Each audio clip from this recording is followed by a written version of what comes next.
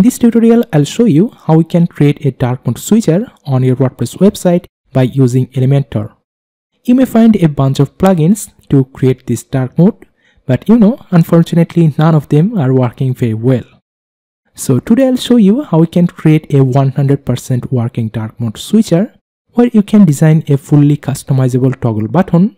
You can specifically edit each and every text or background color for the dark mode or even you can also use two different images for these two different modes. I'll also show you how you can also save that dark mode on your browser cookie so when anyone revisit they can see your site in their previously selected mode. That's a lot of thing we need to cover. So without further ado, let's see how can we create all of this. Here you can see this is a sample page which I have been built by using the Elementor page builder. If you don't know how to create this kind of page by using Elementor, I have a full tutorial on that. You can check that out from here. But in today's tutorial, I will not show you that. I will only show you how you can create a dark version of this page and also add a dark mode switcher. So when you click on this, our page will toggles between the dark and light mode. So for that, we need to create a toggle button. So we will create that by using this inner section widget. So let's drag this to anywhere of your page. I want to drag this to the very bottom of this section. And inside this section, I also want to take an divider widget. Let's drag this to here and delete our this remaining empty column. So here before styling this divider widget, first of all I want to place this whole inner section at the bottom right corner here. So for this let's go to this inner section settings and from this advanced tab we need to use some custom CSS code and by the way to use this custom CSS option you have to have the Elementor Pro. So if you didn't have Elementor Pro you can quickly get this from my link on the description. So let's paste this code to here. And you can see our inner section now moved to this place. Here if you also look at this code, you can see we have set its position to fixed. So when you scroll down to our page, it will always remain to the same position. And we have also give a 50 pixel width. And from the bottom, we have also give a 30 pixel of distance and also from the right. Okay, but here you can see this inner section is actually goes behind this footer so we can fix this by increasing its z index from this advanced tab. If we make it to 1 okay now we can see it properly. So now i want to design this divider widget. Basically i want to convert this divider widget into a toggle button. For this first of all i want to go to the style tab and give its weight to 25 or 24 pixel and also want to reduce this gap. And then I also want to make a rounded corner of this. So from this advanced tab here in this border option let's make 100 pixel of border radius. Okay but we cannot see it here because what we need to do we need to go to here in this style tab. And from here we need to make this color to fully transparent. And we will give our background color from this background option. And let's also give a border. So give it to solid make it to 2 pixel and also give a border color to this. Okay now here you can see some padding for this column. We also need to remove this. So for this section settings here from this layout I also want to make this column gap to no gap. So our toggle button background is done. Now I also want to add a circle inside this button. So we will do that by using this icon widget. Let's drag this under this divider widget. And first of all, I want to change this icon. Let's change its color. Make its size to 14 and also give it a background color. Now I want to place this icon over this toggle button. So for this, let's go to this position and I want to make its position to absolute. And from the left, I want to make it to 6 pixel. and also from the top 6 pixel here as we want to make this icon a full circle so let's give its width to a custom width and make it to 20 pixel and we will also give it a 20 pixel of height. But here there is no option for setting our height. So let's do it with our custom css here we have give its height to 20 pixel and also write some additional code to adjust this. So here you don't need to worry about all of this code snippet. I will give all of this to my website and also give that code snippet link to my description. From here you just need to copy and paste that code to here so right now let's also give it a border radius. So from this border option make it to 100 pixel. Now here everything looks good. But you can see here are some space right after this divider widget. So this space is basically comes from our widget spacing. If we go to this column settings so here you can see this widget space is 20 by default, Elementor gives a 20 pixel of spacing between each of the widgets, but here I don't want this, so let's make it to 0. Now that looks perfect. So the next thing we need to do, we need to make this button active. So when you click on this, our this button will be toggling.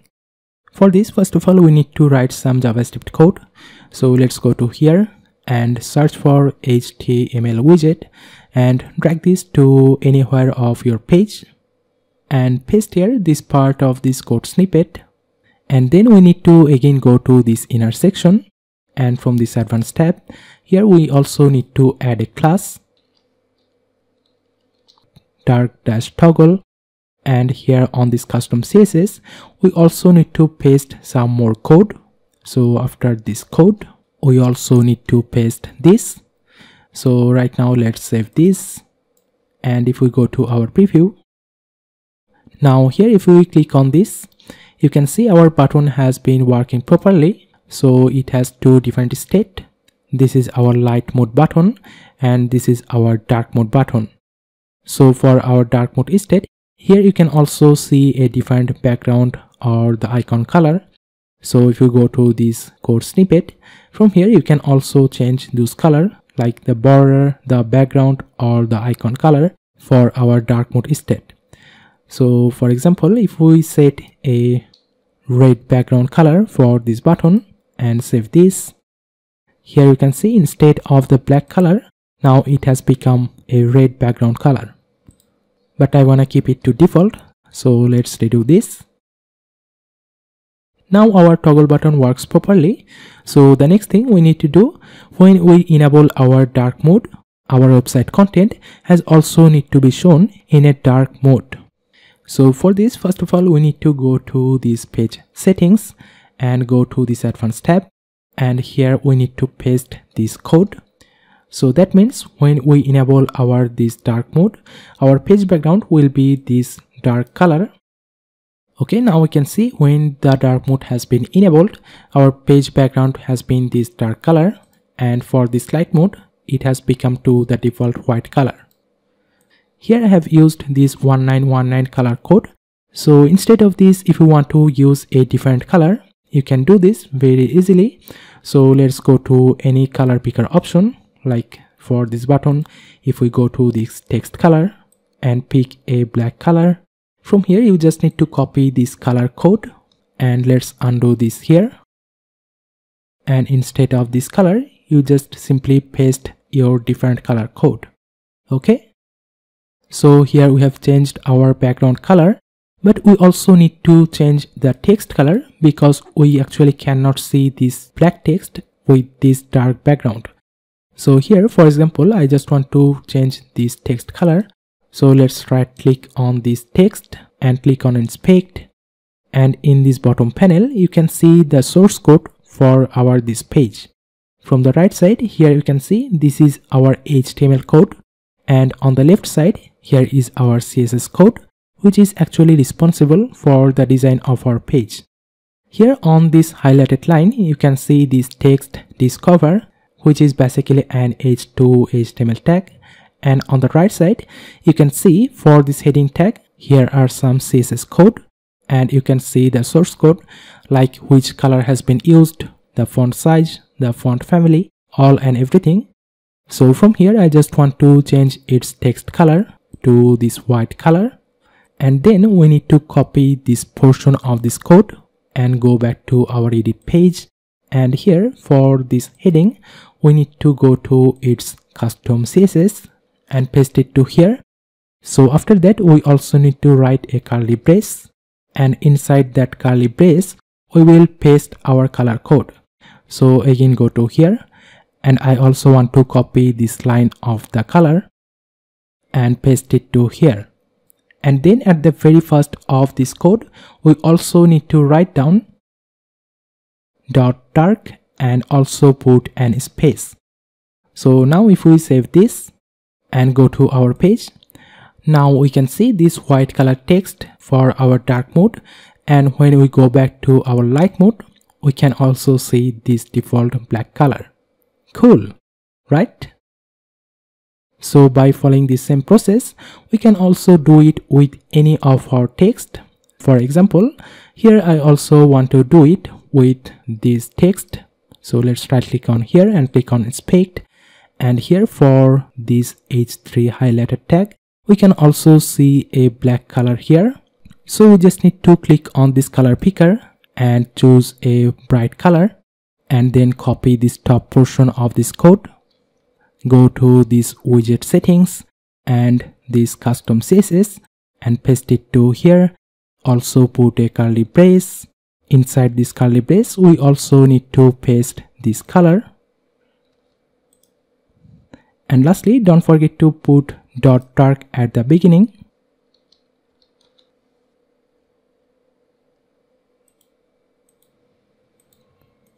perfect so by following the same process, let's quickly do this for all of the text inside this page. Okay, now we can see we have done this with almost all of the content inside our page. So that looks really amazing. And here if you look at our this paragraph, we do not do anything with that because this paragraph color looks perfect for both of these versions then here if we go to this section here we also need to make a different version for our dark mode. If we go to our edit page for this section you can see here we have used a off-white color. On the style we have set that color from here. So like before i just want to right click on this section and i want to navigate through these elements. Okay this one this section so here when we hover over around that element, you can see which element has been focused. So here for this section, on the right side, you can also see this background color from here. Like before, we also need to copy this top portion, but we need to select only this focused part, not to this faded portion. So before this comma, we just need to copy this and go to this section settings write down dot dark space and paste it to here. Put a curly brace. Then from here we can also set a different background color for our dark mode. Let's copy this line and paste it to here. We also need to set a different color for this input. So let's right click on this input and here is the background color. So i want to change this to this dark color and also change this border color and also change this text color to white. So here this is the text color. So for this form widget i have also quickly write down this value. And here i also want to change this color of this button. Right click on here. On this right side here we cannot see any background or any color so let's navigate through this one. Okay we can find this. So here i just want to reverse this color. I want to make this background to white and make this text color to this black color.